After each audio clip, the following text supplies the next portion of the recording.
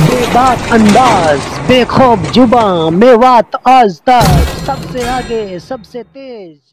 अस्सलाम वालेकुम नाजरीन। ये हम खुदा की कुदरत कहें या फिर अल्लाह की रहमत, ये देखते हैं हम कि मेवात में अल्लाह की जो कुदरत के नज़ारे हैं और अल्लाह के करिश्मे जो हमें नज़र आ रहे हैं। हम ऐसे ही एक बकरे के पास आज आए हैं जो हमें ख़बर लगी है यूँ तो बकरे और बकरियाँ मेवात के हर गाँव में और हर कस्बे में पाली जाती हैं और यहाँ बकरी पालन का एक काम है। लेकिन एक ख़ास बकरे को आज हम आपको दिखाने जा रहे हैं मेवात आज तक की ख़ास पेशकश में और ये बकरा अपने आप में काफ़ी ख़ास है। कि इस बकरे पर एक जगह नहीं दो वो इस बात को बताएँगे जो इस बकरे के मालिक हैं जो किसान हैं और वो बताएँगे कि इस पर कहाँ कहाँ दो जगह मोहम्मद लिखा है। तो हम जानते हैं उन्हीं भाई से। जी अपना नाम बताइए। मोहम्मद आज़ाद है जी मेरा नाम। अच्छा। जी इस बकरे के बारे में जैसा हमने सुना है कि इस पर दो जगह मोहम्मद लिखा है वो एक मोहम्मद यहाँ है जी। हाँ मीम मोहम्मद यहाँ से अच्छा। मीम हा दाल अच्छा। मोहम्मद। एक मोहम्मद यहाँ पे जी यहाँ पे। ये एक हिंदू भाई पे था ये बकरा अच्छा। और ये उसके घर नहीं चरता था नहीं कुछ करता था बीमार रहता था। अच्छा। उसने बोला यार भैया मैं इस बकरे को बेच रहा हूँ ये मेरे घर चरता ही नहीं है बीमार से रहता है। मैंने कहा यार भैया मेरे को बेच दो। उसने कहा भैया यार ले लो। मैंने कहा ठीक है भाई मैंने इसको ले लिया अल्लाह को शुक्र है ऊपर वाला का भाई मेरे सारी परेशानी जादू टोने की परेशानी थी वह सारी ख़त्म हो गई। अल्लाह पाक ने सारी ख़त्म कर दी। इस बकरे की बरकत से अल्लाह का हुक्म हुआ। और भाई अब मेरे पास ऐसी मजबूरी आ गई कि मुझे ये बेचना ज़रूर ऐसा है जी कि हमारा नबी की हुजूर पाक सल्लल्लाहु अलैहि वसल्लम की सुन्नत भी है जी और सारा ही नबियों ने बकरी पाली थी। इसमें बहुत बरकत रहती है जी। इसलिए ही हम क्योंकि हम किसान हैं हमने बरकत इसमें होती है तो इसे भी पाड़ते हैं और किस खेती भी करते हैं। इसकी कुछ बरकतें आपको नज़र आई? हाँ जी अल्लाह के हुक्म से इसने घर में बहुत परेशानी है सारी परेशानियाँ ख़त्म कर दी। अल्लाह के हुक्म से और एक ये नीचे का चारा नहीं वो चलता परेशानियाँ तो अल्लाह ने ख़त्म की हैं लेकिन आपका कहना है कि इसकी बरकत हाँ, से वो परेशानियाँ ख़त्म हो गई। क्या आपको पहले मालूम था कि इस बकरे पर दो जगह मोहम्मद लिखा है जब आपने इसे खरीदा था? ना जी मेरे पास मुझे मालूम नहीं। बीमार जैसा था जी इसने कोई परेशानी कोई नहीं मैंने कोई दवाई नहीं खिलाई। अपने आप खूब चारा खाया कोई प्रॉब्लम ना हुई। अच्छा उसे हिंदू भाई से जब आपने इस बकरे को खरीदा तो आपके घर पर आकर ये खुद खुद ठीक हो गया। हाँ खुद ब खुद। तो इसमें और कोई वैसी खासियत नज़र आई जिससे आपको लगे कि हाँ ये और बकरा बकरियों से कुछ आ, तो पहले बकरी चर लेती है अगर ये चरता रहे और बकरी आ जाए उसमें आ लगे तो ये हट जाता है वो बकरी चर लिए हुए फिर उससे बाद में चरता है। फिर मैंने उस मौल साहब से कहा यार ये ऐसे करता है वो मेरे पास आता जाता था उसने कहा यार भाई इस पर तो मोहम्मद लिखा हुआ है ये तो अल्लाह का बहुत प्यारा चीज़ है अल्लाह पाक ने आपको जानवर पर मोहम्मद लिखा हुआ है ये तो बहुत सबर सबर बंद है। ये तो हट जाएगा। जैसा कि आपने बताया कि ये ज़मीन पे गिरे दानों को नहीं खाता इसलिए हम इसे बर्तन में खिलाते हैं। हाँ हाँ ये ज़मीन पे जो दाना गिर जाते हैं उसको नहीं खाता है। तो ये फिर बर्तन में ही खाता है। अच्छा। हाँ। और मैंने सुना है कि जैसे कि ये छोटे बच्चे हैं आपके आपके लड़का हैं या कौन है मैं नहीं जानता।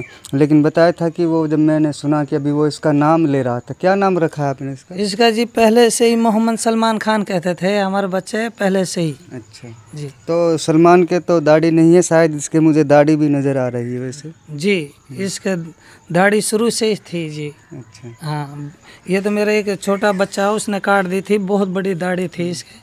अगर इसके वज़न और इसकी उम्र के बारे में बात की जाए वो कहाँ तक है जो आपको अंदाज़ा हो? इसके इसमें वज़न जी अस्सी के जी अस्सी किलो के करीब है जी। अच्छा अस्सी किलो के। वैसे कितने दिनों का है? फिर क्यों बेचना चाहते हो जब ये इतना बरकत वाला बकरा और आप कहते हो कि मैं इसका एहतराम भी करता हूँ दो जगह मोहम्मद लिखा है फिर भी आखिर क्या बेचने की वजह है?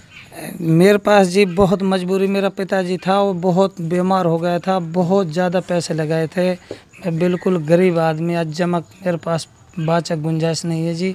इसलिए मेरी मजबूरी हो गई इसे बे मौलाना जी आए हैं और वो हमसे जुड़े हैं। तो हम उनसे, मौलाना जी से उनका नाम जानते हैं और उनसे पता करते हैं कि वो दो जगह मोहम्मद यूँ तो हमें भी साफ़ साफ़ तौर पर लिखाई दे रहा है।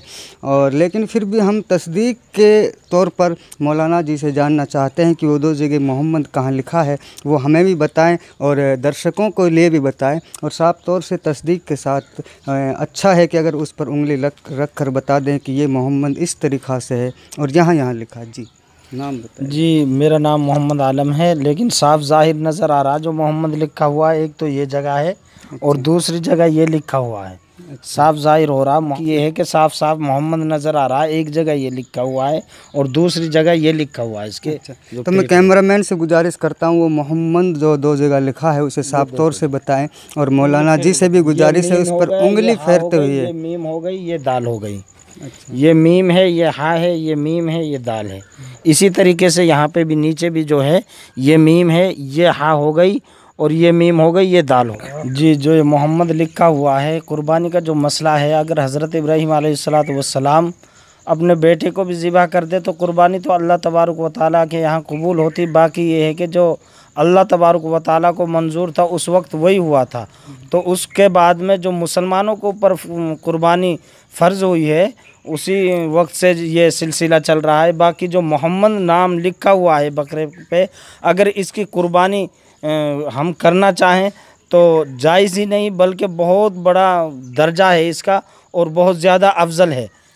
जी जी। जी जिस किसान भाई के पास ये हैं हमने उनके हालात को देखा घर को देखा वो बकरी पालक हैं खेती बाड़ी भी करते हैं तो क्या बेचना भी शरीयत के मुताबिक जायज़ है ऐसा बकरा? हाँ अगर हालात में है तो बेच बेच सकते हैं और अल्लाह की देन है ये उसमें उसका कोई वो नहीं है। बाकी जो बकरे पे मोहम्मद लिखा हुआ है, ये तो अल्लाह की तरफ़ से उसके लिए देन है। हो सकता है इसी के ज़रिए तो बेचे गई किसान का तो काम है कि खेती करता है और पशु वगैरह पालता है तो वो तो बेचते ही हैं, बाकी ये है कि गरीब आदमी होते हैं। तो नाजरीन, जैसा कि आपने देखा, वो ख़ास बकरा जो दूसरे बच्चे या बकरी के आ जाने पर अपना चारा, चना, अनाज तक छोड़कर दूर खड़ा हो जाता है और जिस पर दो जगह मोहम्मद लिखा है और बकरे वाले जो किसान भाई हैं, उन्होंने ये भी बताया कि इस बकरे की वजह से तब से मैंने इसे ख़रीदा या अपने घर में लाया हूँ। मेरी बहुत सारी परेशानियाँ दूर हो चुकी हैं और मौलाना साहब ने दो जगह इस पर मोहम्मद लिखे होने की तस्दीक की और उंगली फेरते हुए आप सभी को भी बड़े साफ़ तौर पर उसे दिखाया भी और यह भी बताया कि हाँ शरीयत के मुताबिक इसे, इसकी कुर्बानी करना जायज़ ही नहीं, बल्कि अफजल बताया है। तो अगर आप इस बकरे को ख़रीदने में जो भी दिलचस्पी जो भाई रखता है, जो नंबर स्क्रीन पर दिए जा रहे हैं, इन नंबर पर आप रबता कर कर भाई से जो भी हो, वो हदिया के तौर पर जो इसकी कीमत बताते हैं या जो भी है, वो उनसे तफसील से बात करें। आप देखते रहिए मेवात आज तक। मैं साहिल खान, कैमरामैन प्रिंस के साथ।